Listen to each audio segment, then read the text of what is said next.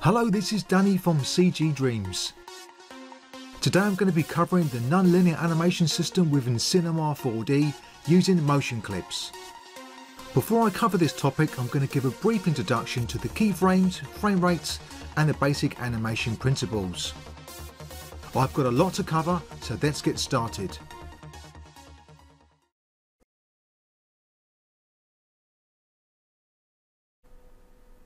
So first of all, let's look at the basics. For animation, we use what's called keyframes.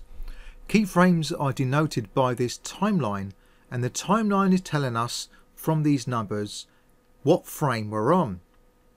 Now, the frame we're on has some relevance to time, and the time is governed by what's called the frames per second. A video is broken down into how many still frames can fit into each second of time. All video media has its own frame rate. A common frame rate for animators is 24 frames per second. In the UK, movies and films are set at this standard, while in North America it's 29.97 frames per second.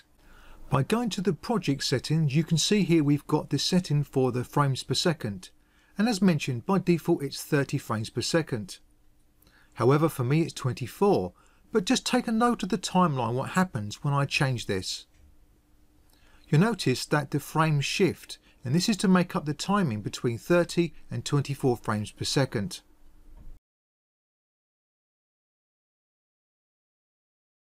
So if it's 24 frames per second, this means that 24 frames of animation equals 1 second in real time. Therefore, if you was to double this to say 48, then you're going to have 2 seconds of animation. And this is basically how it works. So the first thing you do is you need to set the frame rate in which your video is going to be in. And according to where you're located or the type of video that you're going to be creating will be governed by the frames per second. The next thing that you would need to do is to work out how many frames that you're going to need. And of course you can just simply get out the calculator and work it out based upon your frames per second. So in other words, if you needed it to last say 50 seconds or 60 seconds, you could say 60 times 24 and this will give you the number of how many frames you're going to need for exactly one minute of animation. And of course you can make this into minutes, even hours if you had a very long animation. So let's explain a little bit about the timeline. The timeline has this little tiny scrub handle here highlighted in green and you can move in time through the frames. Now the frames that you see currently are set at 72 frames and if your frame rate was default at 30 then you'll see that it says 90 frames. This means we can fit 90 frames on its default setting. Now of course 90 frames is not a lot so what you would want to do is increase your frames overall for your animation. So let's say we go for 300 frames. You'll notice that even though I've changed it to 300 frames that we can still see 0 to 72 frames on the timeline. And this is all down to this slider here. This slider here is basically going to govern how many frames we're going to see at once on our timeline. What we can do is you'll notice we've got this area here which is somewhat blank and you can scrub through this. You're still only seeing exactly 72 frames at one time only that we're able to scrub to see a different area of the entire frame range out of that 300 frames.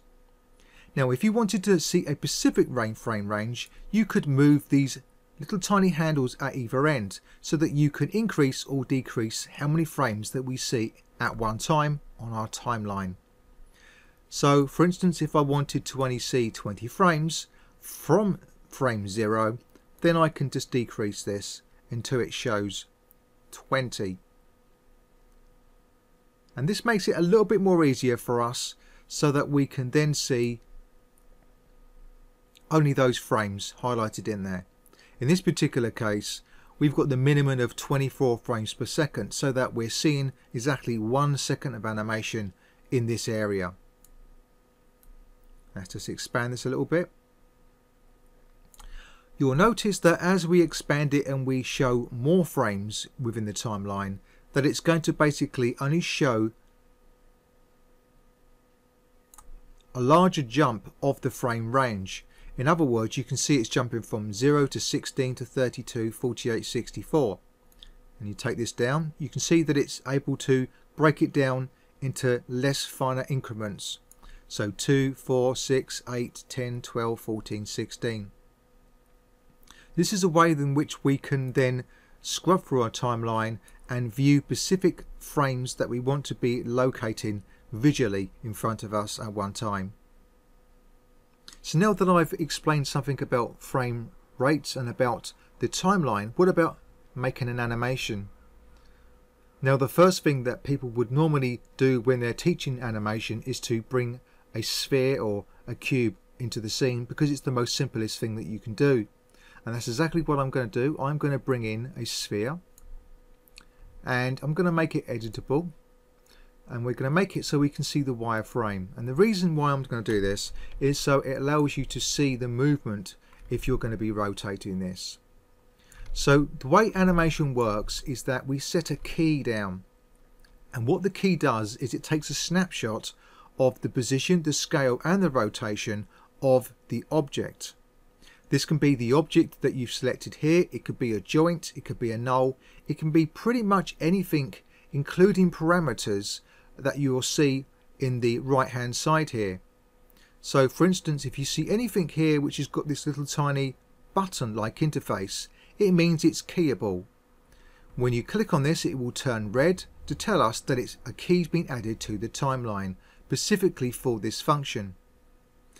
This means that pretty much anything with inside Cinema 4D can be animated, whether it be a material attribute or whether it be the object itself which has been animated. For now we're going to keep things quite simple and we're going to set manual keyframes. So with the object selected I'm going to click on this little tiny button here which is the shortcut F9 and it sets a key. You'll notice that a little tiny blue box has been added and when I click on it it gets highlighted orange. This means that it's currently selected. This key has basically created a snapshot of the current position, scale and rotation of the object. If I now move in time to say 20 frames, I can now move the object and then I can key it again. Now you'll notice that I've got a second key that I can select. If we now get the play header and move this, you'll notice now that we've got an animation occurring. What you also notice is we've got this motion path curve in the viewport. This is a good way for us to see where the animation is coming from and going to and the particular path in which it's going to be following. What you also notice is you'll see these little tiny dots that are going along the motion curve and this is telling us how fast it's going to be moving from position A to position B. In this particular case you can see that through the center point here that they're quite a far distance from each other, these individual dots. But as we get towards the end, these dots bunch up together more. Now what this is telling me is that this is a different type of interpolation as to straightforward from A to B going at the same speed. In order to see what type of interpolation this is in the way that it's going to get from position A to B, we can select a keyframe and then you'll see here that we've got this area here called interpolation. You'll see that what's currently selected by default is spline. Spline is the most common interpolation that gets used. And typically what happens is, is rather than the animation starting from A and then ending at B point and going through it at the same speed, what it would tend to do is it would tend to ease in get into its animation and then it will ease back out again in the speed in which it goes. So in other words, when you play this back, it won't just go from here to here or in one continuous speed. If I was to play this back, you'll see right at the very end it slows down.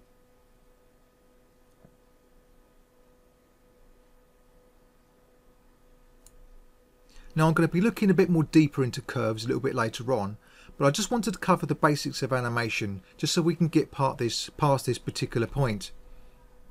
What you also notice is that this motion path you can click on this little tiny end here and you can move it. This means that you can stretch the animation longer or shorter. I'll just show you the result of this.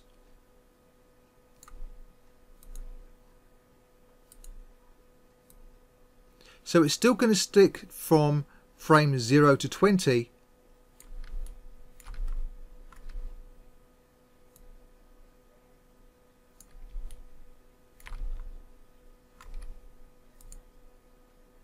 Now it may appear this way, but in fact what's actually happening is, is even though at frame 20 it's getting from A to B, it is actually going further away than it did originally.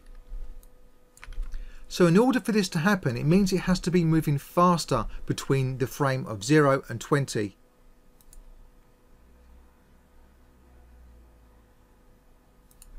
This is so that it still ends up right here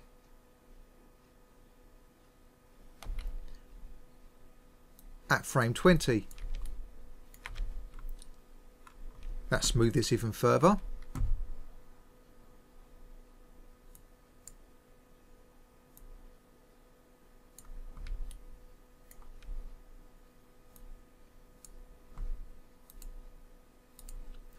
You see this time now I've moved it even further you'll notice that because it's got further to go between this position and that position that it's having to move faster in order to get to the end at keyframe number 20.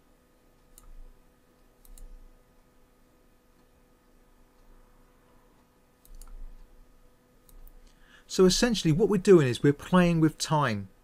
Even though we're restricting it to move from position A to B within 20 frames, we're telling the animation that it's actually got to go a long distance within this keyframe range.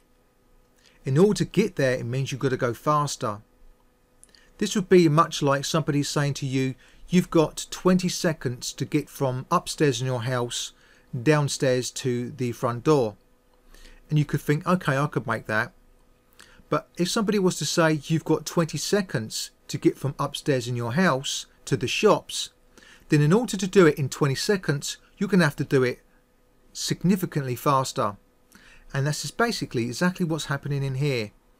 The frame range is to determine in how long it's going to be taking, but depending on what you want done within that frame range is to how fast it's going to be completing it.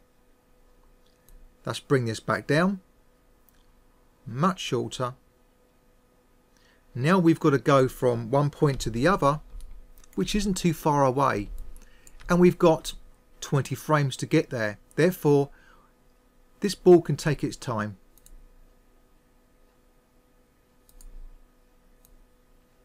Now moving back to the interpolations, as I mentioned before, the basic one is a spline. This means that it's got a more natural feel to it, the way that something starts moving, gets into its top speed, and then slows down right at the end. It, it effectively eases in, moves to its constant speed, and then it eases out at the end. What we can do is we can change the interpolation types. We change it to linear, it's literally going to go from point A to B in exactly the same time frame. If we was to change this to step, you'll notice that all the intermediate points in between, it will skip and it will literally just jump from one to the other.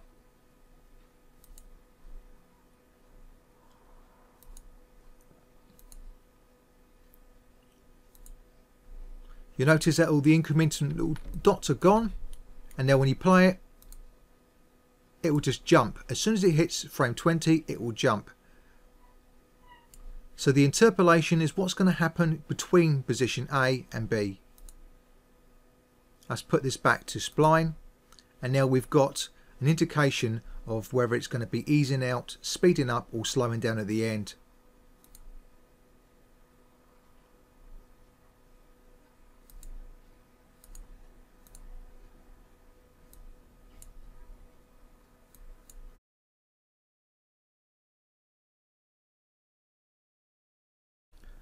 So that's finish off this short chapter on the basics of animation just by doing one.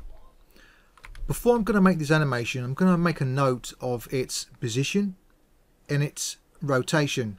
You'll notice that the values here are zeroed off. This means that this is its default position and this is something very very important especially when you're building more complex animations such as character animations. You will always have a default position in which you would say that this is where it's starting from. And in this particular case, this object's position in X, Y and Z position and in its rotation position is right here. You can know this because it's all zeroed out. However, if you wanted to move this into a completely different position and then decide that this is where we want to start from, and then you could say to yourself, well, do you know what? I want it to be moved 400 centimeters from here. Well, you're going to have to start adding that centimeters to the figure that's already been shown up here because you've already moved it once. To get around this problem, what we do is we zero off the animation. Also, we say we zero off the values of the object. And this is done by selecting the object. We go to coords and you can see here that we've got this button called freeze all. Now we can choose to freeze only the position without the rotation or indeed the scale. I'm going to choose freeze all and you'll notice now that the values are now being zeroed off. What this essentially means is that if this is becoming my default position right here I can now choose to move this exactly to the position that I want without having to try and work out how much I've got to add to the current figure after moving it the first time. So now I can type in say 300 centimeters and it's going to move exactly 300 centimeters. So the idea is that when we start our animation we want everything to be zeroed out so that if we wanted to return to its original position we can do so by simply zeroing out of these keys the X, Y and Z or the rotations. Another way that we can zero this out quickly is to go to the character menu. We go to commands and you can see here reset PSR. That stands for position, scale and rotation. This is another quick way in which you can reset your model back to its default position. This is particularly um, something that you want to do when you're setting up something complex such as a character rig. You want to make sure that all of the controllers and the joints in which the controllers are going to be moving have been zeroed out so that you can always return to its default pose position. So let's go ahead and return this back to its original position by clicking unfreeze. And then it's going to update the position that I've moved it to. And then I can just basically go and select reset PSR and now it's going to move back to its original position that it was in. So let's create a short animation. We're going to set a key for where it is right now. We're going to move say 30 frames ahead move to the position that we want and hit another key I want the ball to jump in the air like in an arc so what I will do is I'll go somewhere between here and move it up and set a key you'll notice now that we've got this nice arc in our visual representation of this motion curve telling us exactly the path in which it's going to be moving along. You'll notice for every single key that we add, we've got this little tiny dark sphere or bubble, and you can select this which highlights and you can move it so that you can change the type of motion path which is going to be taken. Because this is representing a key, we can also select this and change the type of interpolation. So we don't have to necessarily select the key down here, we can do it by selecting it on the actual timeline itself or on the motion path. We can set this as something like linear and now you'll see that it's going from one position, stop, straight to the other.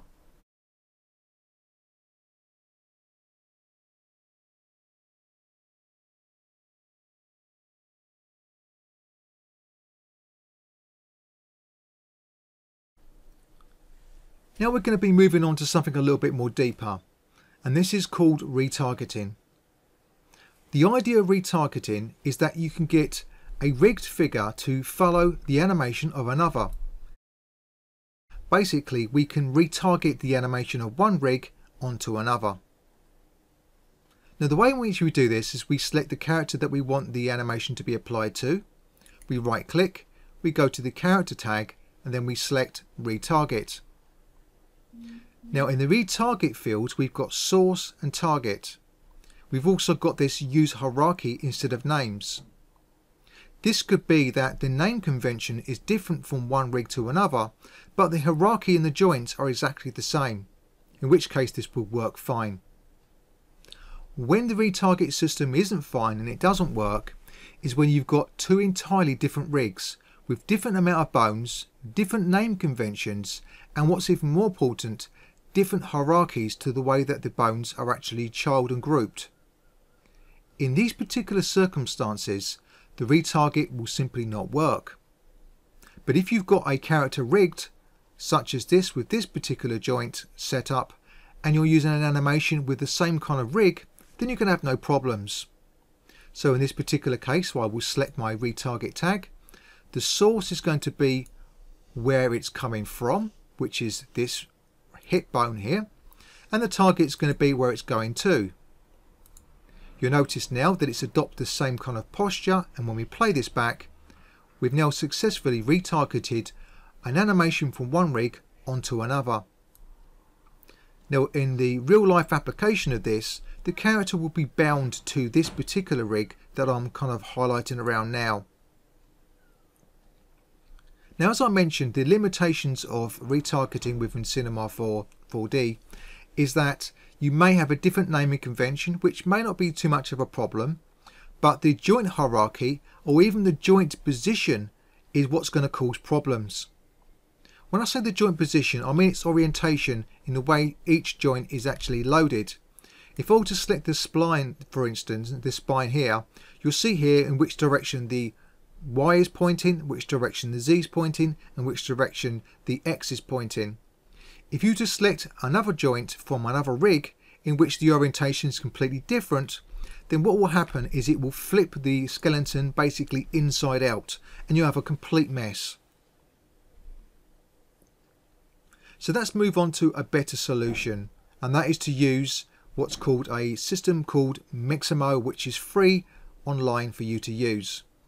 It's a free system and it also not only gives you the compatibility between your rigged systems between what's been rigged as your character and the animation itself but it will also give you a free library full of loads of animations that you can use for your character without having any fuss. In fact you don't even have to use a retarget if you didn't want to which is the whole point and really where I'm aiming this video towards to using the non-linear animation system so let's go ahead and look at the Mixamo route.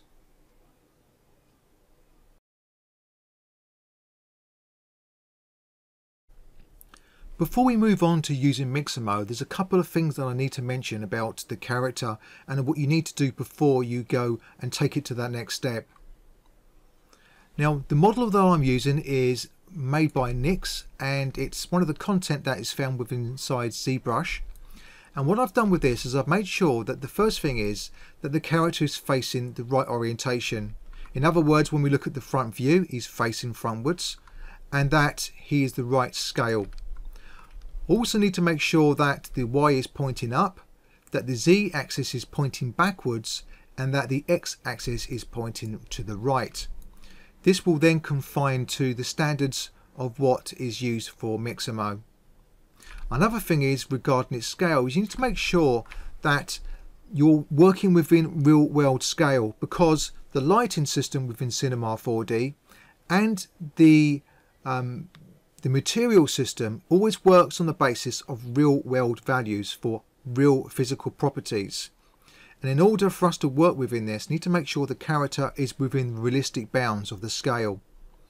When I originally brought this in, this was 188 meters tall and it should be 188 centimeters. So one of the things that I did is I selected the y-axis which indicates how high the character is when I've got it selected. I'll copy this, go to edit, go to scale project and then in here we will paste in the value of the height and then we will paste in the value of the height that we want it to go to.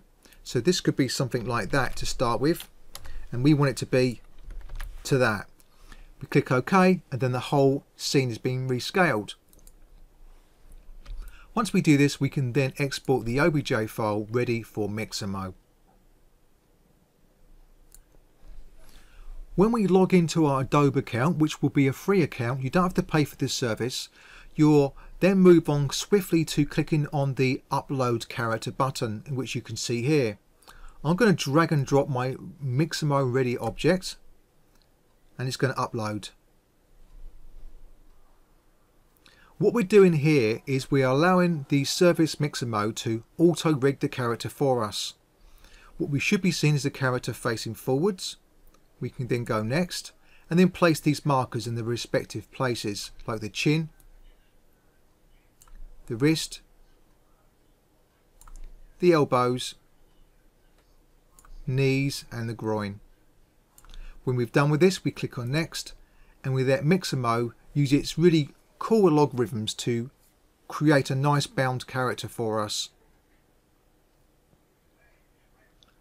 Now there's nothing stopping you from bringing this into Cinema 4D and making some alterations to it. In other words, you can refine the skinning process with weight painting to make it deform even better than what Mixamo does. But on the whole, Mixamo does quite a good job. We click on next and next. Now one of the first things that I like to do is download the character exactly the way it is in its basic stance. Or what you can do is you can type in T-pose in the search and you'll find a T-pose stance. This is another ideal way of bringing in a character at its T-posed or basic stance. The reason why you would want to have this is it allows you to do some weighting in symmetry if you wanted to alter anything. It's also really a good basis to start your character from so that you can eventually, if you wanted to, add controllers to the rig and make it more personal. So the first thing I'm going to do is I'm going to download this version of the character. And for simplicity purposes, what I'm going to do is I'm going to just show you, if I click on the T-pose, he's going to put the character into the T-pose and then we can then move on from there.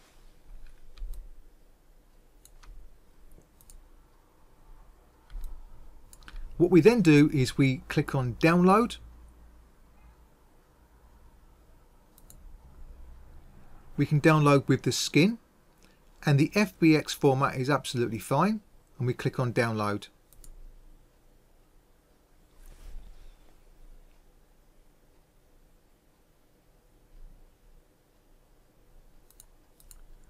Once we downloaded this, we can then merge it into our scene, or we can start a fresh scene if we wanted to.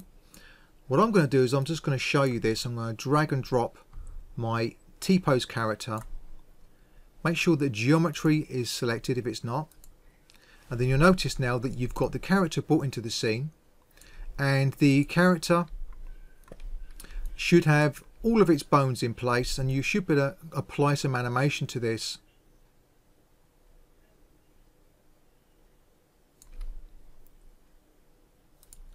Hopping back over into Mixamo, you can then choose all of the animations that you want. So for instance, I want an idle.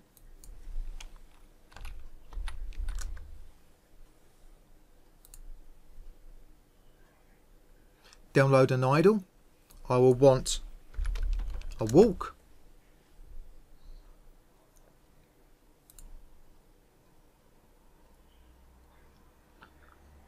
Now the type of walk that you want if you wanted to create your own path would be the in place.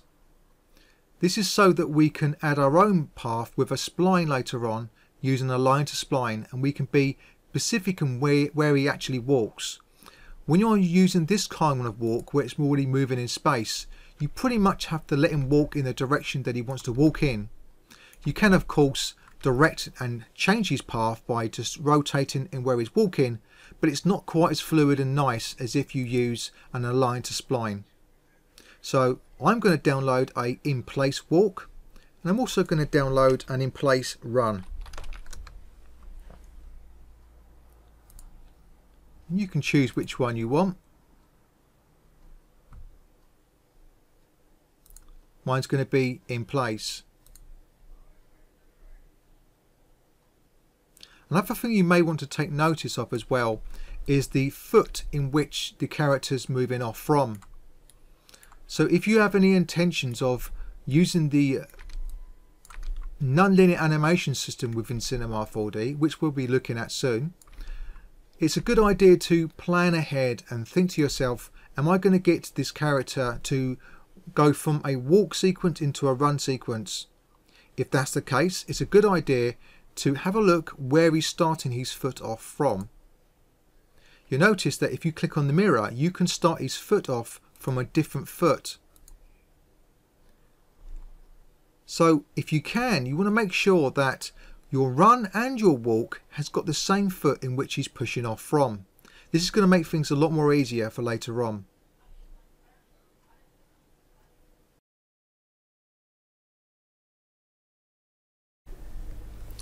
In this chapter we're going to be looking at the non-linear animation also known as NLA and in Cinema 4D it's called motion clips in which it's derived from. So the motion clips within Cinema 4D allows you to basically to construct a whole sequence of animations from different individual clips and then combine them, merge them and streamline them to be smooth in its transition between one animation clip and another so that it looks like it's one whole composite. So what can you do with motion clips? Let's just run down a few things that we can do with them. We can convert keyframe animation to clips, motion clips. We can either keep the original keyframes in place or we can delete those keyframes and it can be put into a motion clip. We can move animation using pivot points without affecting the animation itself. We can composite multiple clips on a single layer, which I will show you. We can composite multiple clips on multiple layers. We can transition between one clip and another. We can speed up and slow down any clip animation with ease. We can merge multiple clips into one single clip we can convert single or multiple clips into keyframes again and we can convert multiple clips to new motion clips to use for later use. Along with that we can save and load single and multiple motion clip sets for use with later on. So we've got a lot of scope to cover in the next chapter and this chapter.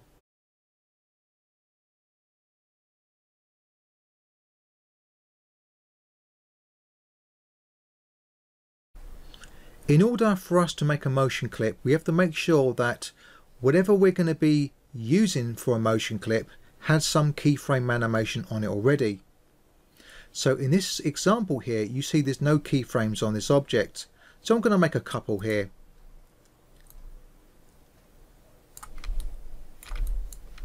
Just move this in space. And we'll just have a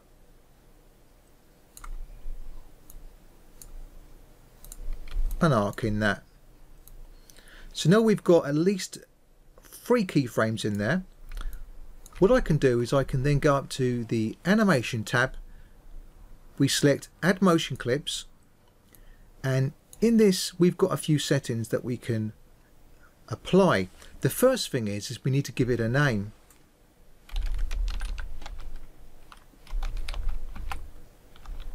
I'm going to call this ball jump the next thing is you'll notice that you can choose where you want your start and end frames to be. In our particular case, we've got start frames between 0 and frame 60, so it's automatically put that in there for us. However, if you had multiple animations on the single timeline, what you can do is you can split these up into individual motion clips. So in other words, if between frames 0 and 60 he'd done a jump, and then between 61 and 69 for instance he done a walk you could first of all select the first range between 0 and 60 then make another clip doing the same procedure as what we're doing now. So for our case we've got a single motion between 0 and frame 60 so that's fine. We wanted to create a motion clip automatically the break expressions is only applicable if we're going to be using expressions. And that's for more complicated stuff. So we leave this as it is. Remove included animation from original object means that the keyframes that are currently there at the moment will be removed from the original object and placed into a motion clip where you can still have access to those keyframes.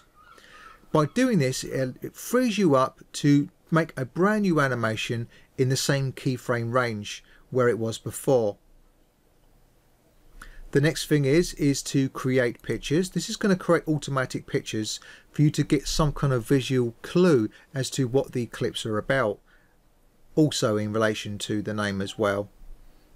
Now the position, the rotation and parameters are there on by default. You can choose what kind of data that you want to be included. So for instance, we're more likely to be using the position and rotation more than anything else. But if you think that you're going to be applying some of these other attributes later on, well, you can also have these turned on as well. It won't harm anything at all. We click OK and the first thing you'll notice is the keyframes will disappear. When the keyframes disappear this means that the motion clip has been created. Now when we go up to the object you'll notice that we've got this tag on here and it's the motion system expression for motion clips. Now in my particular case you can see it hasn't removed the keyframes so it's likely that I didn't have that option turned on. Sometimes when you're applying it to an object and not to a rig this can happen. So let's remove this again. You can still clearly see that we've got the keyframes there but in actual fact the keyframes are doing nothing so it did actually do what we expected. It just didn't update the scene to show it. Now, while we scrub from the beginning to end, it may seem that the keyframes that we've still got there visibly are actually running the animation, but in fact they're not. It's the motion clip. To create a motion clip from a character rig, we always select the root, which in this particular case is the Mixamo hips. The reason why we choose the topmost hierarchy of the root is because the clip's going to include everything within that hierarchy. So in other words, everything which is a child of the hip joint is going to be included in the motion clip. So to do this, we select the hip joint in our particular case. We do exactly the same thing as before. We go to animate, add motion clip. I'm going to call this walk. I want the original keys to be removed and everything else is fine by default. You do have the option here to disclude anything that is within the hierarchy originally stated. So if you didn't want the right leg, for instance, and its whole hierarchy, to do this for this to work, you hold down the control key. Once you've done this, you can click on OK. You'll notice the keys have gone. And now we've got the motion still of the walk cycle but we've got no keyframes. So let's have a look a bit about what's included within the motion clip and how we can construct and use the motion clip system for the nonlinear animation. Once we added the motion clip, we need a way of accessing all of its controls and features. And to do this, there's two ways. We can select the motion clip tag, and then here we can click on Open in TL, short for timeline. When we click on this, you'll notice that we've got this timeline opening up and we've got the clips that are all stacked up down to the left hand side. We've got the clips in which it's going to be applied to originally. So this is the layer in which it's automatically created for us. You'll notice that the name of this is the name of which the motion clip was made for. So in other words, if you look at the hierarchy's name here, or the beginning name, you can see here it's Mixamo Orig dot hips and you can see here this is exactly the same so this is made after, after this so any clips that we're going to be applying will be to this object and then we've got the layer in which those clips are going to be put onto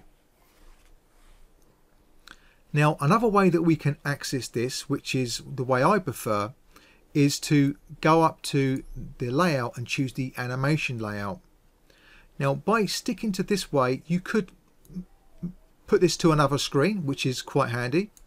You have got all of the options that you're going to have in the other view. If you select a clip, you can see here we've got the basic, hierarchy and advanced. And this is giving you access to the, all, all the options that you're going to have when you go to the animation layout. I prefer the animation layout because I've got everything in front of me we're going to be showing you today. So what I'm going to do is I'm going to go from the layout and choose animate. This way we can select on a clip, we can see the settings up here for that clip. We can see our objects list. We can also see the clips to the left hand side. We've got access to everything that we need for our animation purposes. So how do we navigate around the motion clip within this timeline area? Well, if we hold down the Alt key and right mouse button, you can move it from left to right to zoom in and out. If you hold down the Alt and middle mouse, you can pan left and right. If you press the S key, it's going to frame that particular clip on the screen here. So it's going to frame the selected clip. If you press the H, it's going to frame all of the clips that you may have on there. So if you have multiple clips, it will frame all of them. And if you were to have your timeline header handle in a different location, and we just increase our frame range here. Let's say you had it up here and you were zoomed in on here if you press the O key, the O key will zoom straight to where your timeline position is, where the handle is here. So that's how you navigate around this area here. It's quite simple really. For the display options here, well we've got a few things that we can change as to what gets displayed on our clip. To access this we go to the motion system tab and then we select motion view. In the motion view we can choose to see the start, the end. You can see here we've got 31 and 0. You can choose to see the loop time when we choose to loop the clip, which I will show you later on. It will show any trimming information as well, if you want that on. You can choose to see the clip name instead of what the clip is applied to. In other words, this Mixamo rig hip, this may be more better for what we're going to be showing. So clip name is a motion clip. We can choose no name or we can choose the source clip name. One thing that you may find quite handy to have on is the F-curve in motion layer. This is handy for later on when I show you how we can transition between one layer and another in which you'll better see the F-curve to adjust that. So these are a few things that you can change as to what you're going to be viewing on your motion clip. Another thing that is of use to us is if you select the motion tag, you can see here show summary path. If you've got this turned on, what you'll see is you'll see this motion path that we saw in the basics video for animation. And what will happen is, is it will show a summary path of the object with everything combined.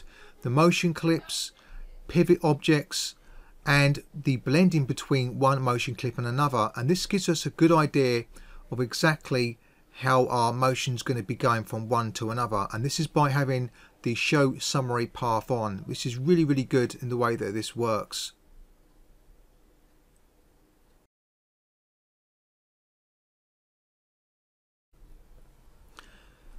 Now, in our particular case, we've got this walk sequence in here. And if I just play this back, pressing the spacebar, you can see here that the character is simply just walking on the spot.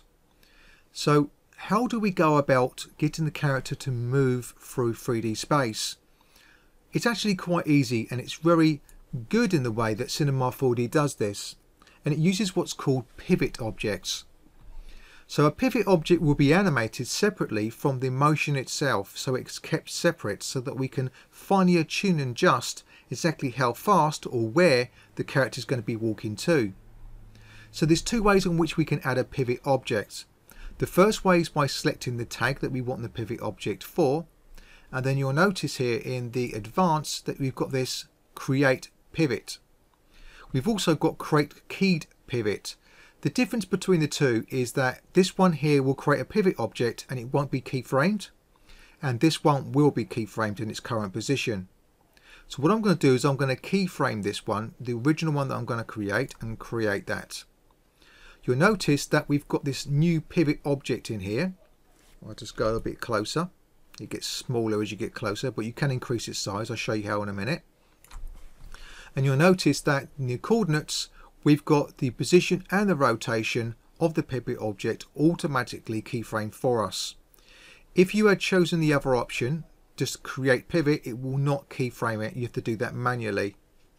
You also see in the timeline here that we've actually got this keyframe right at the beginning at frame 0. So this is one way that we can create a pivot object. However, you'll notice that the pivot object automatically gets created at the center point in which is the pivot's location for the object in which the motion clips have been applied to. In other words, it was the hips. So you can see here it's right at the hips. Now it may be the case that you wanted to have this right at the feet. So what you can do is you can uncheck this and move this down to the feet. Now what you'll find can happen when you do this is you, as you move for the animation it will flip back to its original location even though you've moved it.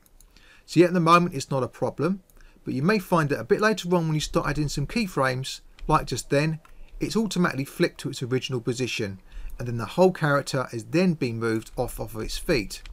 So that's not ideal.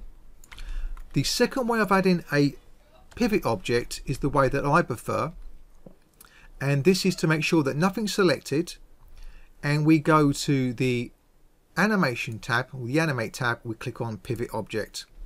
You'll notice that this pivot object is created right at the feet straight away.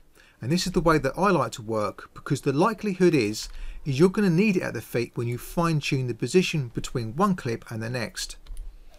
So once you've got this in place what you can do is you can select your clip you go to your advanced tab and I don't want any animation clip or anything on there for, as far as um, animation. So I'm just going to right click and go animation and delete track. I don't know animation on there at all. I'm going to drag and drop this pivot object into here. And now the pivot object is going to be assigned to this clip. You can then select this pivot object and call it whatever you want. Walk one as an example. And then you can start to work with this pivot object now what you can also do is you can add multiple pivot objects so that you can switch between one and another. So let me just show you a good example of how we can do this. Let's say for instance we add another pivot object in here. And we have this maybe at this position here. I'm going to make sure that this is keyframed right here and our original pivot object is keyframed right here. So I'm going to select this and keyframe it. Now what you can do is you can move a pivot object in time over time. So let's say when it gets to the end of this clip which happens to be frame 31 I'm going to have him move all the way over to here if you want it to be very precise in its snapping between one pivot object and another, you can turn your snapping using the P key and make sure that you haven't got vertex but you've got axis snapping. And then what you can do is you can move it and you can snap it to the next pivot point and then create a keyframe for that. Now you'll notice we've got a motion path. We've also got the movement between one pivot point and another. Now at this stage it's got nothing to do with the second pivot object. But the reason why I put a second pivot object in there is because I wanted to show you that we can actually transition between one pivot object and another. So how do we do this? Well, we make sure that we get to the end of the last frame, which is frame 31. Then we can say on frame 32, let's just move forward here, that we want the new pivot object to take over. So to do this, we can click on our clip. You notice that we've got this here and you've got no keyframe on this at the moment. We need to make sure that we've got a keyframe on this from the beginning. This is telling us that we're using the walk pivot and at frame 32 I want to change it to the new pivot object so I'm going to call this walk 2 and we're going to drag and drop this in here and then we're going to keyframe it. Now what this means is is when we get to this precise position within our timeline it's going to switch our pivot object from one to the other. You can see this as I'm just flickering over between here. Right here we're looking. What this means is we can then get this new pivot object and start to move this and the character is now going to be following the new pivot object.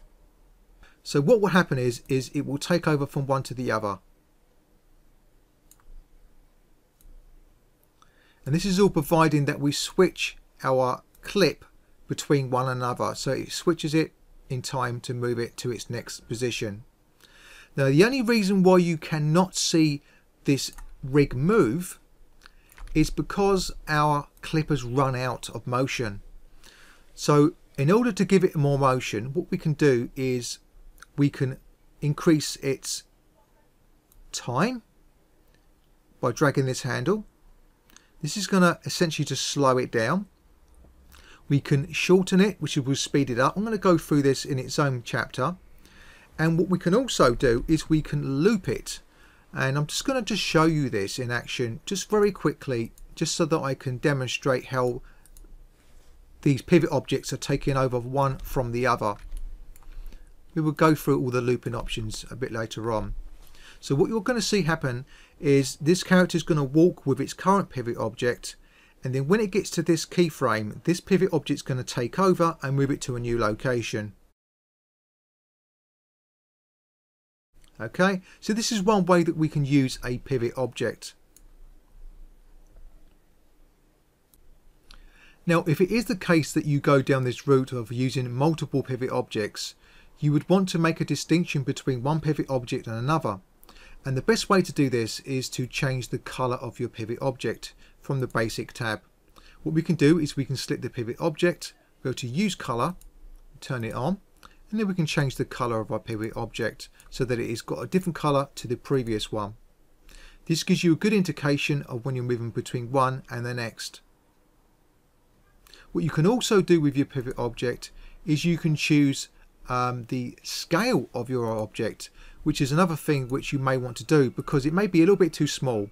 This is done in the objects tab. You can just make it a little bit bigger so that you can see it more easier.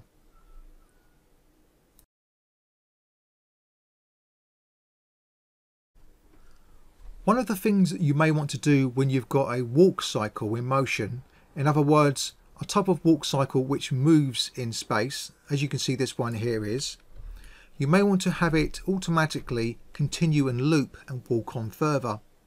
To do this, we need to make sure that we've got the clip selected. We go to the basic tab and we select this loops area here and then we increase the amount of loops that we want. Now by default, each time it gets to the end of the loop, it's going to go back to its original position again and keep on doing this, which is fine for some things. But for a walk path, we want to make sure that he continues from where he left off. And to do this, we need to just check this relative loops. And then he'll continue to walk on and on and on. So let's just play that back. As you can see there. Now when it comes to a walk on the spot motion it's slightly different as to what you have to do with this and there's a few gotchas which I'm going to be showing you so let's get this walk and we drag the clip from the left hand side into the clip area of our layer we can move this just to the beginning and then we notice that when we play this back then he's going to walk on the spot again the same thing we can select this and choose to loop it let's say we loop this three times or four now there's no point choosing relative loop because he's not actually moving anywhere. So we can get him to continue to walk, loop, loop, loop, loop, loop. But we need to get him to move. So one obvious way to get him to move, which we've already covered, is to add a pivot object. So I'm going to do just that. I'm going to go to my animate tab, select pivot object. I'm going to make sure that with the clip selected, in the advanced tab I drag and drop the pivot object into there and then I'm going to immediately keyframe it. At the end of the walk cycle, which would be up here, 159 frames, I'm going to have it so he's walked, say, over to here. And then I'm going to keyframe it. Now what you'll notice is, is that when you scrub through this, you'll notice that his feet will be sliding. And this would indicate that either he's not walking far enough for the speed of his feet, or the speed of the animation is too fast. You need to choose which one's more of a priority. So if, if it's imperative that he walks no further than the path that we've set at keyframe 59, let's say it has to be no further than this, then what you need to do is you need to alter the speed in which he's walking. If, however, you can say, do you know what, it doesn't matter if I move him a little bit further on, then you can adjust the position of your pivot object so that it matches up with the speed in which his feet's moving, so it doesn't look as though he's sliding on ice. Because I've decided to go in favour of the position, in other words, I don't want him to walk any further than this, I would have to relatively adjust the speed of the clip so that it fits within the speed for the distance he's going to be covering. So let's go back and we just scrub through this and we just look at his feet. So he's walking way too fast for the distance that we're going. Now, before we move on to adjusting the speed of his feet, there's something that is going to catch you out if you're not already aware of it and that is the interpolation of the keyframes. Now, as I mentioned earlier on, when you keyframe something, the default interpolation is set to spline. And what this means, if you look at this interpolation, is that it starts off um, slow, it will move on to its full speed, and at the end it will go slow again, as you can see here. These little tiny dots are bunching up together. This is indicating that this is the case. If it's crucial that you don't want your feet to be sliding along the floor at any point during the whole of the walk cycle, you need to make sure that you turn on linear for its interpolation type. So we're going to select the interpolation and turn it to linear. We do exactly the same for the end so it doesn't slow down at the end or anything like that. Make sure that's linear. Now he's going to work at a consistent speed. Now we can start to adjust exactly how fast he's going to be walking for this distance. In this particular case, you can clearly see that he's walking way quicker than the distance he's covering. So what we can do is we can drag this out so it slows it down. And now what's going to happen is he's still going to achieve the same distance, but he's going to walk slower, less steps in that in that distance. And there we go, that's much, much better. And we can continue to shift this until we've got it just right. Now, if you didn't want to slow his walk cycle down and keep it at the same speed, as I mentioned before, you would have to increase the distance of the pivot point in which he's going to be walking or move the keyframe so it's going to be lasting over a longer period of time. This is so it will basically help slow the animation down or speed it up. So you've got two of those options. Just to show you the other option again, um, in practice, that's keep this at its original speed. We'll move it to 100%, which is there. You can see here 100% there. And his feet will be sliding along there as it is. And what I'm going to do is I'm going to grab the keyframe of the pivot object and I'm going to move it. And you see here what it's doing, the way it's shifting things. We want it to last over a longer period of time or a shorter period of time. We just do the extreme one to the other, yeah? Okay. It's even worse. So we do the opposite way. And we play that back. That's looking much better. And you're still going to stop at the same point. The other way in which you can do it without changing where you want the keyframe to be in time and let's just move this back to where it was originally, is to simply increase where this is going to be. So that's just delete this. We didn't want to delete the uh, pivot object, only the keyframe. So that's just delete the keyframe. What I'm going to choose is I'm going to choose for him to be walking a shorter distance. So to say between here, right at the end of the walk sequence, 159, I want him to walk a shorter distance and it's going to be more in tune as to the speed of his feet or his footsteps. So that's going to now add a keyframe. See, he's walking way, way too fast. So let's go to the end.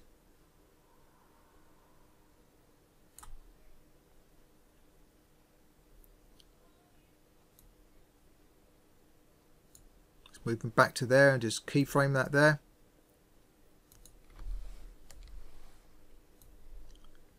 You can see here, this is the opposite effect. He's walking slower. So what we can do is we can just adjust how far we want it to walk.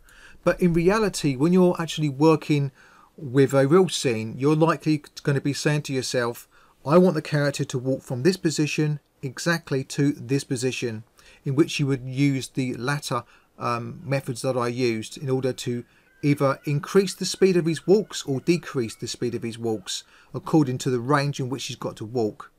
And of course, as to how long he gets there is always determined by the keyframes that you're going to be covering. So in other words, if you said, I want him to get from A to B, whatever that may be, in say four seconds or five seconds, you go 24 frames, if it's 24 frames per second, that, that's one second. We've got 48. Is 48.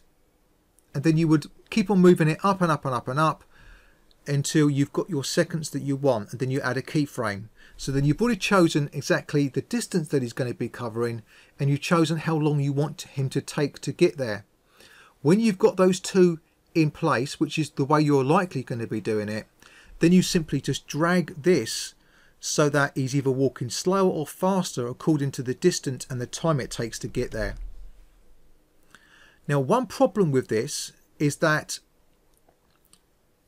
even though we're getting him to walk over this area and I'm going to just rectify this okay I'm going to move him say this is where I want it to be let's just rectify this and let's just get this speed right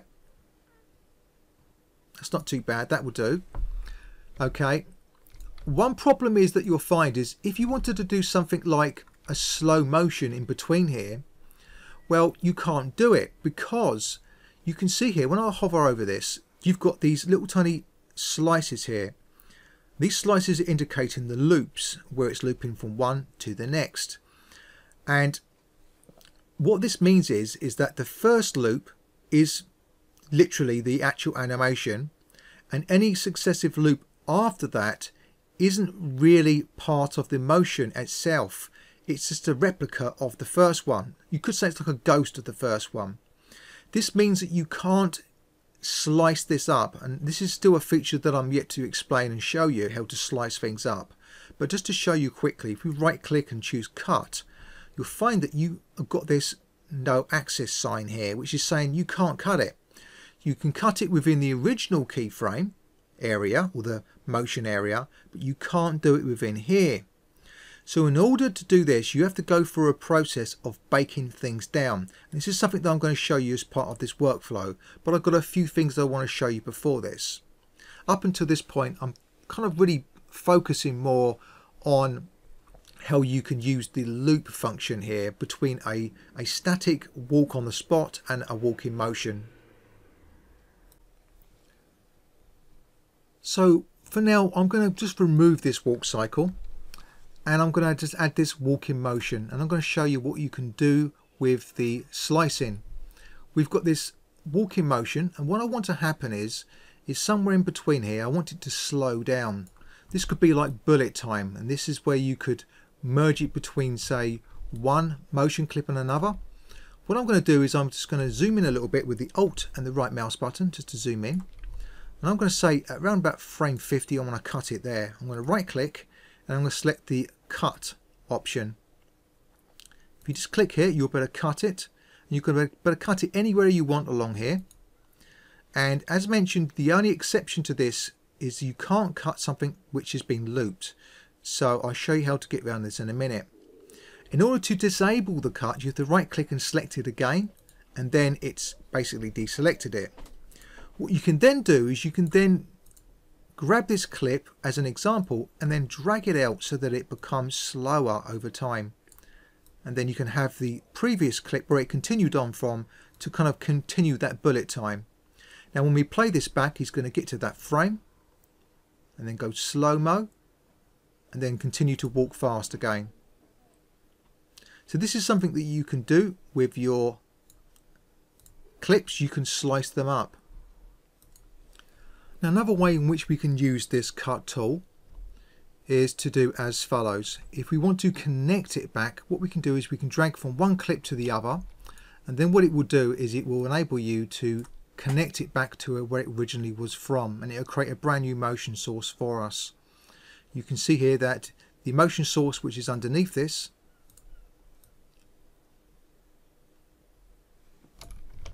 I'll just move this. It's still there. Let's just zoom out of this. That's the clipped version. And this is the version that hasn't been clipped. Now in order for you to use this other cut feature here you can use the hotkeys control and shift and let's just show you how this works. If you press the control key and click anything before it is going to be deleted. If you hold down the shift key and click anything after it is going to be deleted and just simply because clicking will enable you to basically slice wherever you want. And as mentioned before, you can just drag from one to the other with your mouse belt button held down and then it will basically merge it back together again. And this is all from this cut connect object.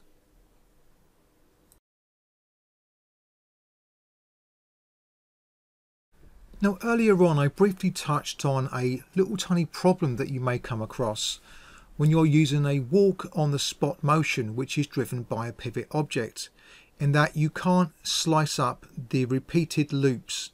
So how do you get around this issue?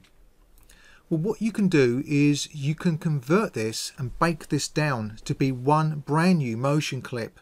So in other words it will grab all of the repetitions of loops and then make it so it is actually a brand new clip which contains all of the walk cycle needed to get from position A to B without having to use the loop feature.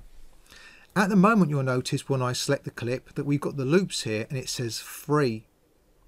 We want this to be all incorporated into the same clip.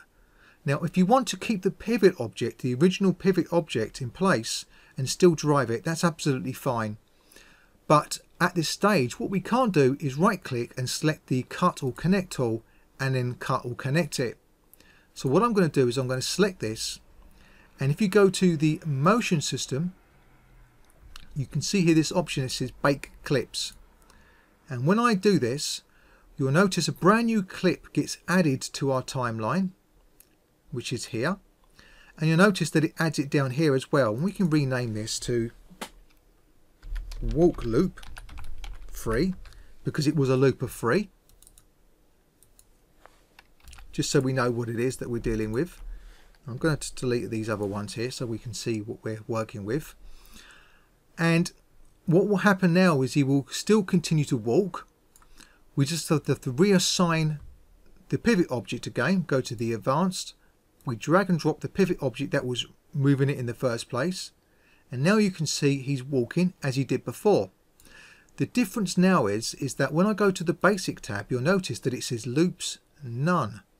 This means that this is one continuous clip incorporated all of those three loops that were in it and now we can use the cut and connect and slice it anywhere along here. So we can slice it here and here. We can choose to then manipulate. Maybe go slow-mo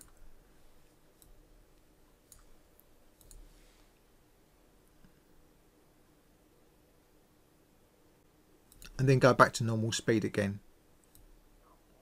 So that's how you get around with the problem of having looped walk on the spot animations and to be able to go in there and still use your slice tool. Now you may have noticed that when I was scrubbing through the animation over this area here which was time stretched that the limbs were starting to rotate in very odd ways. The reason for this is normally down to a setting for the motion tag itself which is to do with mixing rotation. If we select this you'll notice that it's set to auto for the mixing rotation. Now what can happen is, is it can cause problems with this so what you need to do is change it from one of the other two that is available. I find that the HPB is the one that normally fixes the issue so if you have this issue with the limbs rotating very odd after baking, this is normally the cause. To really emphasise on this point, I'm going to show you another scene where it's more evident. So I've got a scene here in which I've got an original walking sequence and I'm just going to drag and drop it into here. This needs to be looped a number of times so I'm going to do this right now. And then the next thing is, is I'm going to assign it to a pivot object so that it can move it. So that's just assign this. And now of course it's going to go and walk along the uh, align to spline, which I'm going to be showing you in the next chapter. Now, what I need to do is I need to be able to edit this. So as before, I'm going to bake it down and I'm going to just highlight one of the problems that you're going to have if you choose the wrong type of rotation mixing. At the moment it's left to automatic. So I'm going to select the clip, I'm going to go to the motion system and click on bake clips. And that's just tidy this scene up. I'm going to call this baked for this layer. Now when you're going through it in real time, I'm going to just assign this pivot back to it, you're not going to notice really any problems. This is because the flipping of the limbs is so fast in real time that you actually don't even see it until you slow down the animation. So if you have any, any intentions of doing a bullet time slowdown, you may have this problem and not be aware of it until you actually start to do this bullet time slowdown. So what I'm going to do is I'm just going to increase my frame range and then I'm going to drag this almost double the distance so that it slows it down. And when you play it back, you'll notice that these limbs start to go in very odd positions. There's one such instance. Now, because we're looking at the right leg in this particular case, we can quickly go to where the problem is to highlight it. So to do this, I'm just going to right click and then click on show F curve in F curve mode. And you've got all of these keys what I'm going to do is I'm going to just highlight on that left or right leg. It's the right leg so I'm going to select the upper right leg only and it's on the bank of rotation. And I'm going to go to the F-curve menu and click on show all tracks. And what it's going to do is just show the track that I've got selected.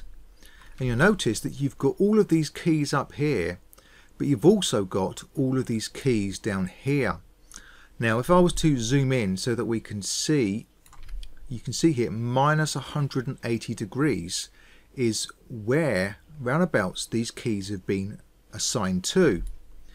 Now if you was to look on the original, you'll notice that if I was to move these up, it would look more like this. That's the way that it should be looking, this curve in here. But what you'll find is, is that if you've got the mixing mode wrong for the rotation, that it causes this problem. So let's just close this down and then we'll do it the way it should be done. So let's delete this baked version. We will go through the same scenario again, but this time I'm going to choose a different mixing mode. So we're going to repeat it a number of times. As before, and I'm also going to be assigning the pivot object as before. This time I'm going to go to the motion tag and change it from automatic to HPB. Now this time I'm going to do the same thing. I'm going to go and bake the clip and I'm just going to call this baked version 2 and what you'll find is we haven't got the same issue. We can now if we want to that's just slice it there as a good example here. Let's slice it here. We will just delete this and we will time stretch it out so it's playing much slower now. And you'll notice now that there is no issues with the animation and to demonstrate this again I'm going to go to the F curve mode. And these are the keys right at the top here that are responsible for the legs. And of course we can go and focus on these. And you'll notice that we've got nice smooth keys. And this is all down to the mixing mode for the motion tag.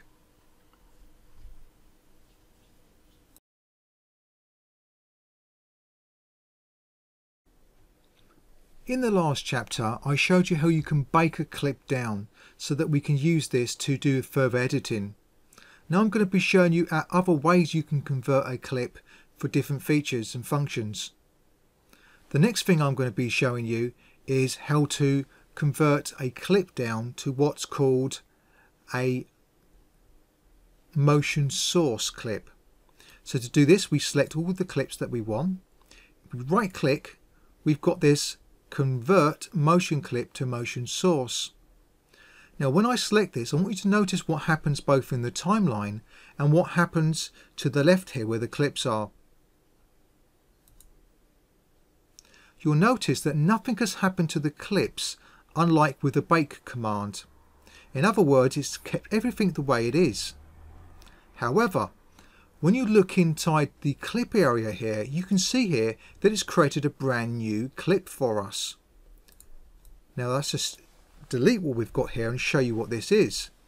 We drag and drop this on there, you'll see that it's actually a combined set of clips from the previous sliced up clips with exactly the same animation. The difference is, is it's combined all of those down for us. So again, we can select this clip, we go to the advanced and drag our pivot object into there.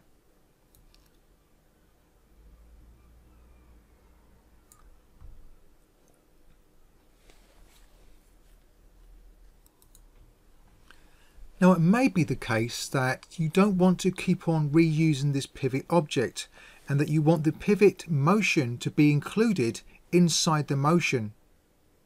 So this is how we go about doing this. We need to make sure that the pivot object itself is actually made into a motion clip itself so that we can then crush it all down into one.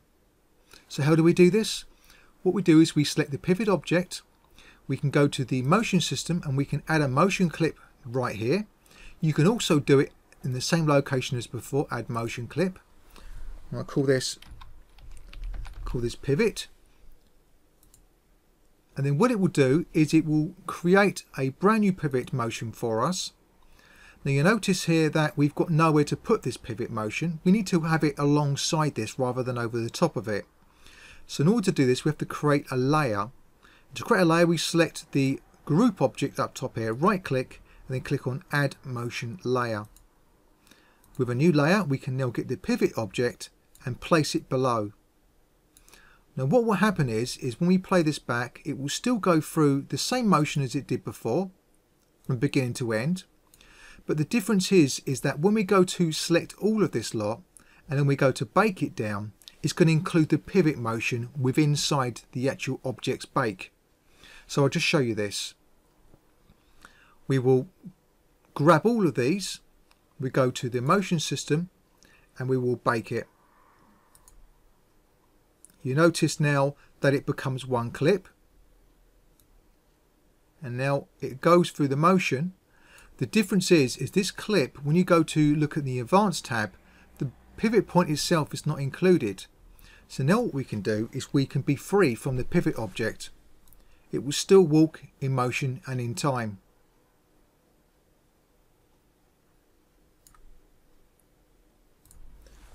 Now it can be the case that you've got loads and loads of layers or loads and loads of motion clips that are stacking up. So I'm just going to drag a few on here just to demonstrate this. Let's just say we've got these motion clips stacking up. And let's say that we've got a few on another layer as well. And I'll show you about the layering system in a minute. But I'm just going to add a layer for now. Let's just say we've got, it's going to create some funny, funky um, animation on there for us let's say we're really stacking it up and we're getting loads and loads of layers and things are just getting too complex and we're already very settled to what we want. There is a way to group everything so that it becomes one clip but it's actually within a group.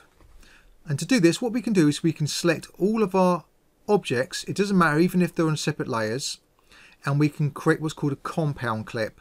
We can right click and we click on add compound clip You'll notice now that it's created a brand new layer for us automatically and it's compound all of the clips that we selected onto just one clip.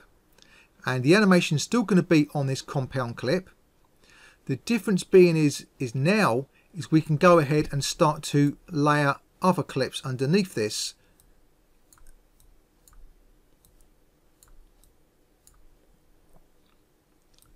And start to build us up another complex set of clips. And in turn we can select all of these clips right click and then add to compound. And then it's going to compound all of those clips down. Now obviously it's going to create a bit of a mess to the rig for the way that I just did it because I haven't been using some other features that you need to know about. But this is basically how you can compound a clip down so that you've got all of your motions into one place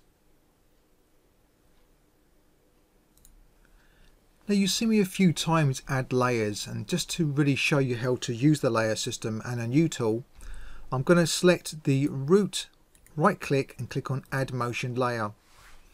Now adding motion layer allows you to literally get another animation and come away from the animation that you've currently got on layer 1 go to the new animation and then come back to it using the transition tool.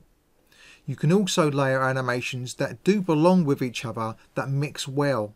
And this may not be always the case, so you have to use a transition. Now, there's different types of layering that I'm going to be talking about. And the layering that I'm going to be using in this particular case is going to be from the multiple layers. So what I'm going to do is I'm going to just drag and drop this idle motion. And you'll notice that when they're both together, that it doesn't work so well. They're kind of conflicting. So what we need to do is we need to transition at any time point during the animation between one layer and another. And that's to show you how to do this. We right click, we click on make transition, and then we just literally drag from where we're coming from to. And now what you'll notice is he's walking, he goes into an idle, and then he starts walking again. And this gives you an idea of what you can do with the motion system with the nonlinear animation. You can really get a lot of combinations of different walks and cycles and sequences. And the whole point of using the layer system is that you can get it to change animations midpoint in an animation. So in addition to this, you can also grab clips and you can move them from its current layer onto the layer in which it's already come from. I'll just show you how to do this as well. So we've got two layers and we've just drag and dropped it onto another layer. If we hold the shift key we can drag and drop it onto the other layer. Now the difference is with this is that we can use this rather than having midpoint we can choose to have this to crossfade into a different type of animation at this particular part of the animation. So the advantages here is when you're using different layers is you can choose where during the other sequence of animations you're interrupting it. When you're doing it this way you can choose where on the end of the animation it changes to a new one. And by default when we so far I've been using this I've been dragging to the end of the previous clip. What you can do is you can crossfade it by simply just moving it over where the other clip ends and what it will do is it will create a crossfade between one clip and another. You'll notice here that the character's going from a walk into an idle pose. So we've got a walk into an idle pose. And this is all by creating this automatic transition by moving it over like this. Now, when you're doing this, you want to make sure that you understand where your animation was located, its feet were located on its last keyframe and where it's going to be going to. So what I like to do is I like to just have a look and see what the last keyframe was like and just take a look at the feet. You'll notice that it is his right foot that all of the weight is on. What I like, what I then like to do is I like to find a previous, if I'm going to be doing the, the crossfading, is to look at the beginning of the next frame. You can see that his foot is all the way on his left. And what you can do is you can just go and look for a pose which is matching very similar to where this one starts. So let's have a look. This will be the closest. And then what this will do is it gives me an indication of a good place to do the crossfade.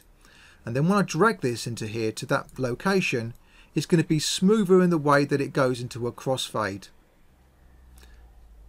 Now I will touch about the timing of things a little bit later on, but this gives you an idea what you can do with this crossfading. It's very, very helpful. Now just moving back to our other layer, just to show you what we did before, we used our transition tool from one to the other. Now you can see here we've got these curves and these curves are automatically made for us where it's basically fading the strength of one out to the strength of the other one in. And we can see this very clearly when we scrub our timeline. We'll just move here. You can see here the layer 15 is 100% and layer 17 is 0%. And as we just go across here, you can see it's crossfading between one and another. Now, whenever you've got this happening, you can go in there and actually adjust how it's crossfading with these curves. In order to do this, first of all, you need to make sure that in the motion system motion view, you've got this option checked, F curve in motion layer. When you've got this checked, what you can do is you can expand the motion layers and you can grab these curves to change the transitions to how you want them to be. In addition to this, if you don't want to create an automated transition, I'll just go back a few steps, you can create a manual one. And I'll just show you how this is done. We can go to this keyframe here and we want to create a key where it says 100%. We hold down the Alt key and you click on there and it says 100% and it's lit up red. This means a key's been added. We can then say go to frame 70 and then we can turn down its value or just type it in 0 and then you'll notice that it's automatically created a keyframe for us automatically you can then in turn select this one and choose that this should be 100% at this point but at this point it should be at 0% so it's, it's essentially doing the same thing only that you're doing it manually so what we can do is we can 0%, the Alt key will keyframe that. And as it gets to this key, we can say we want it to be 100% right here. And it's basically done the same thing. The only difference is, is it's given us a manual option to keyframe these so that you can create your own transitions. Now that we've done this, the other thing that I'm going to show you is how you can convert your motion clips into keyframes. And to do this, I'm just going to use the auto transition to speed things up. And then what we can do is we can select the layers that we want to convert to keyframes. I want both of the layers, so I'm holding down the control key and I'm selecting both of these layers. Obviously you can combine these down by making a compound clip as well.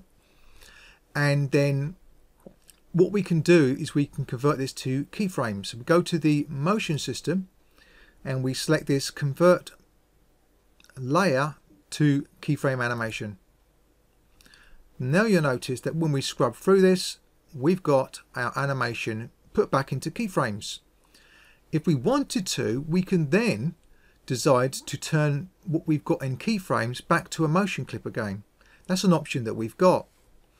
The beauty about this is that not only can you just do all of the layers or maybe even a compound clip into, into um, keyframes, but you can just choose to have one layer. It could be one layer that you want just specifically to keep frames alone. So you just select one layer and then you can convert it and it's as simple as that. So what we've looked at in here is we've looked at how we can make a compound clip which is essentially grouping, how we can convert a clip to a motion source which doesn't change anything on the timeline but it creates a brand new source and combines all the clips together. We've also looked at how we can grab a clip and we can bake the clip using the bake command which is here, bake clips and this is very this is a little bit different in how this one works as you saw before is is then it keeps it basically on the timeline still after it's done it rather than just adding something down to here as a clip so there's different ways we can convert it. And then finally we looked at a way in which we can actually bake what we've got by how many layers we've got selected in order to um, put it back to keyframes again. And of course this compound clip is, as I said before, it kind of groups things together so that you're able to then start to build yourself some brand new layers and then with these new layers you can start to build up more complexity while the original animation is still intact and in place.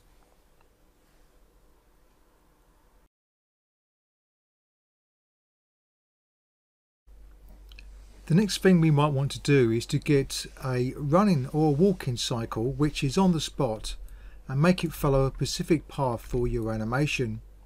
And this is the workflow in order to do this. Now there's been a few problems that I've encountered when doing this and I'm going to just show you kind of what they are and how you can get around these problems. But first of all, let's go through the workflow that you have to go through in order to get the character to walk or run in a particular motion path. The first thing we want to do is make our motion path. You can use the snapping options to create a spline over a particular terrain. To keep things simple, I'm just going to go from the top view and I'm going to use the sketch spline I'm just going to do something very rough like that now it's quite imperative that we make sure that the spline doesn't have any kind of interpolation that makes it speed up or slow down during the path and what does this is having these points at different um, distances from each other. The way to get around this is make sure that you've got the intermediate point set to uniform and then we just convert this by right clicking on the spline and then click on current state to object. We can delete the old spline and when we select the new you'll notice that all of the points are actually perfectly uh, the same distance from each other. So that's the first thing out of the way. The next thing we need to do is we need to have a pivot object for our character. So we're going to do that as same as we've been doing before. We create a pivot object and then we assign it to our motion clip. We go to the Advanced tab, as we did before, assign to the motion clip. Now the pivot object is now taking control of where this rig is going to be in space. Now we need to make sure that the pivot point is aligning to the spline. Now what I need to do is need to right click and go to Cinema 4D tags and click on Align to Spline. Now before we go any further we need to have this tangential um, setting turned on so that when the character is to go and follow the spline it's going to make sure that the pivot object which is applied to automatically rotates um, according to the z-axis so in other words rather than just continuing around the spline keeping the character in the same um, orientation it's going to rotate the character to align to the spline. The problem that we're likely to have here is that the axis is on the z-axis which is correct but we can't choose whether it's a positive or a negative z-axis. The reason why this is a problem is because if you look at the character right where the pivot object is you notice that the z-axis is in a negative value, in other words it's pointing backwards, which is where it should be. But unfortunately, the align to spline wants to work on a positive axis. So what's going to end up happening is the character is going to flip around and walk backwards. The way to get around this is to select the spline, and we're in points mode at the moment. We right click, and you've got the spline options. We click on reverse sequence. By doing this, when we go to the align to spline and we drag this into here, what you'll notice is that the pivot point snaps to the end now because it's snapped to the end it means that it's also going to reverse the axis in which it's moving along so it's going to work in our favour. So when we turn on the tangential you'll notice um, that the pivot object is going to flip the way that it should do.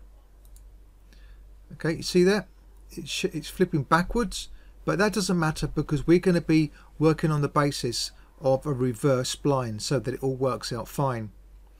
So what we can then do, we can then basically move through our position of the align to spline and you can see here that the character is going to follow it. We just need to keyframe it in opposites to where you would normally do.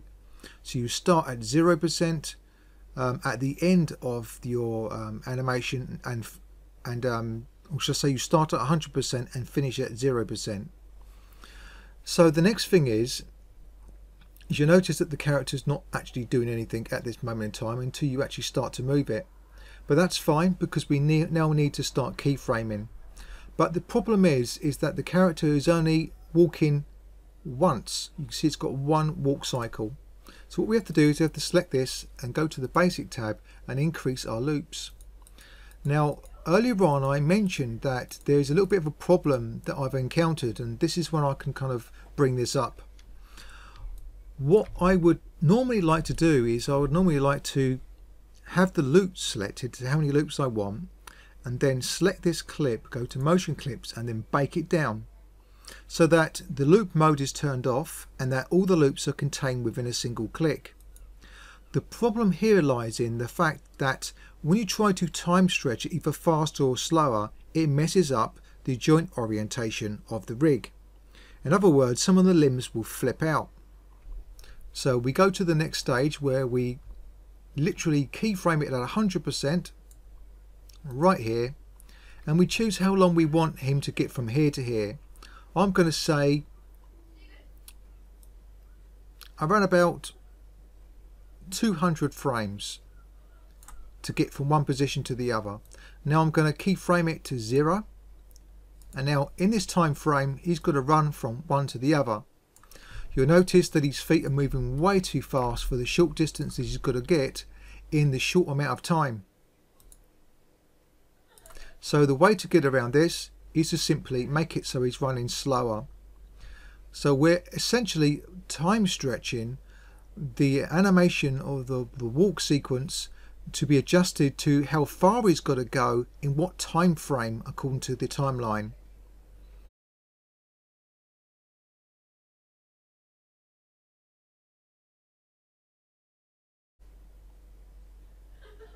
It's looking a little bit better. Because we're adjusting it to the timeline, we're having to slow down the animation. If you wanted to keep the feet moving at the same pace, you would have to have him walking a further distance or keep the same distance and increase the um, keyframe in which it's positioned between 0 and 100. So in other words, it's allowing more time for him to get to A to B, or it's doing it in a far faster pace. And of course, you would have to do it in a far faster pace for you to keep the motion of the legs the where they were originally. So that's just go through this and play this back. It's looking a little bit better. We could obviously do the reverse and make it so that the distance that he needs to run is the same, maybe without changing it, but just change the keyframe of the positioning so that he can do it in a far quicker time, which would then obviously match up with the speed of his feet. Now you'll notice that around frame 200 is where it ended, yet we've still got all of this to go on our clip. And in this, if this is the case, it simply means that the timeline between 0 and 200 is dictating how fast he's going to get there and the align to spline is basically telling us how short of a distance or how long of distance you've got to get there. Therefore, we don't need all of these frames. So the way to bring this down to closer to where it's matching the speed and distance, you just simply just decrease the loops. It won't adjust the uh, actual speed of things, it will just make sure that we don't have to stretch it beyond what it needs to or, or basically loop it beyond what it needs to. So we can say that 200 was basically where it was ending, which is there. And you can see here it's just going off into the next loop. So we'll just leave that end tail there. Now when we play it back, he's going to move through there accordingly. Now you'll notice that he starts off a little bit slow. This is because the interpolation in the keyframe for the align to spline that we've got here. So what we have to do is select those keys and make sure that instead of spline they are linear. This means that he starts off at a certain speed and he ends a certain speed so that he doesn't um, alter the timing and allow his feet to slide. It'd be more consistent all the way around now. And it's still not perfect, but you you should get the idea from this that we how we can adjust these things. And if we just, just speed up a little bit, you see there, definitely not speeding up, so we can slow it down. Slow it down even more. That's looking better. So we've covered a lot so far and I just want to reiterate some of the things that we've already done in the last past chapters and then I want to move on to show you how we can get everything baked down into keyframes specifically the keyframes which involve if, uh, expressions so let's just put this together really quickly I've got my run sequence I want it to be looped so many times. I want to assign my pivot object, which is in turn run by align to spline. I'm then going to watch this and just see how fast the feet are moving. They're moving way too fast, so I'm going to drag this out. That's looking better. And then what I'm going to do is I'm going to make sure that the motion clip for its rotation mixing is set to HPB, which it is. By default it's not and then I'm going to convert this by clicking on bake clips so now it allows me to slice things up a little bit and that's just create this bullet speed now before I do this I need to just reassign my pivot object again. If you don't want to have to keep on reassigning the pivot object you need to make sure that you bake down the pivot object along with the animation as well so that you don't have to keep on doing this. So we got it to that point didn't we? That's it. We'll take it back down to here want to bake my keys. You need to make sure that you're in keyframe 0 when you add your pivot object back. Otherwise there's going to be a bit of a a distance between where it starts. And now we've we're in a good position now to do this like bullet time. I'll do it right here between here and when he lands. Right click and disable this cut and let's just drag this away a little bit. And we'll do our time our time warp you could say. So that's just there he goes. And then he'll land back down. We've got to the point where we've got our basic animation done but now we want to get this baked into keyframes so how do we go about doing this? Well we what we don't do is we don't select our object or our layer and go to motion and click on um, convert layer to keyframe animation the reason why we don't is because now we're using expressions and the expression is found within the align to spline. So in order to get the align to spline baked down into keyframe animation, we go about this a slightly different way. Rather than selecting the clips and then going to the motion system and clicking on bake clips, we need to go into the dope sheet. So we go from the motion mode into the dope sheet And then when we go in here, in the functions menu, we've got a new option here called bake objects. And this is going to give us an additional command in there when we're baking.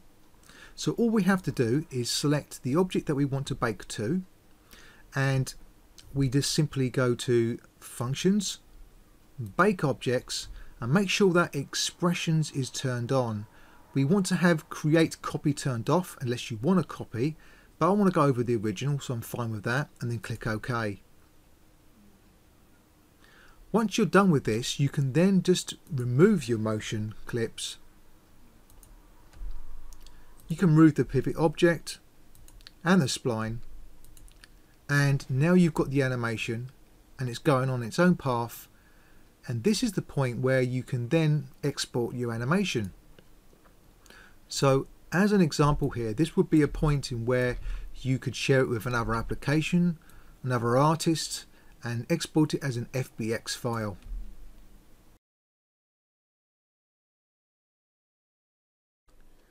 In this last chapter, I just want to talk about some of the visual aids that you've got to use within Cinema 4D for complex setups, especially as you add more and more and more, it's going to be very hard to keep an eye on where in certain keyframes we've got certain actions happening. For this we can add two different things. We can have markers which are here. We can create a marker at the current frame and within this marker we can choose the color of the marker and this could be related to maybe um, a pivot object that you've got in there to indicate it's the pivot object's keyframe range. Um, and for this, what you can do is you can just add some tasks to it, you can add some notes to it, and obviously you can give it a name to say uh, maybe pivot 1. And then this way you're going to have somewhere that you can go straight to to know where a specific keyframe is located for you. So this is something that is quite nice to have in there. Another thing that's quite nice to have in there is the fact that when you're working with your motion clips you're likely to be working quite close at times to be quite accurate with your um, kind of placement and cutting etc and the way that you can keep a memory of this specific um, zoom in and location on the timeline is to use what's called bookmarks what you do is you uh, add a bookmark and even though you can't see anything there, when you go back to bookmarks, you can see it's added here. Now you can manage the bookmarks in here. You can see there, and you can rename this. We can say scene one as an example. And later on, what you can do is maybe go to another area where you've zoomed in, say scene two, and then you would go there and add another bookmark. And you can say this is scene two. Now what you can do with this is you can then go to your bookmarks, click on it and it will zoom straight to that location and area where you're working on scene 1 and when you want to go to scene 2 it will go to that respectively and this is one way that you can speed up getting to a specific location where you're working with a specific set of motion clips. So this is the end of this tutorial, but there are many other features for the motion system that I haven't covered, but that you don't really need to know right now. So it's well worth looking into these and going to the user manual to expand on your knowledge on this. Just a couple of extra things that I thought I should mention which are of use to you is the fact that even though these motion clips are representing animation, you can still get access to the keyframes. To get access to the keyframes, you can either use these here, the, the frames, or you can right click on a motion clip and you can select show in dope sheet or F frames. And then you can see all the keyframes that originally came from the motion clip. So you can see here that it's actually on the original object that you made in the first place. Well, this concludes the video tutorial on the non-linear animation system using motion clips. I hope you've learned something from this and I hope that it's intrigued you enough to look into the manual and to dig out even more features that Cinema 4D offers.